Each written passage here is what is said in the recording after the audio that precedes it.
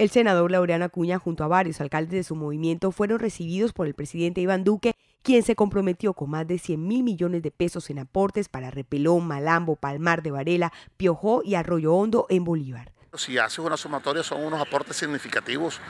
Solamente en Malambo, por decirte algo, estamos hablando de casi 70 mil millones de pesos que se comprometió el señor presidente, al igual que en Repelón, por ejemplo, eh, estamos hablando de casi 15 a 20 mil millones de pesos que,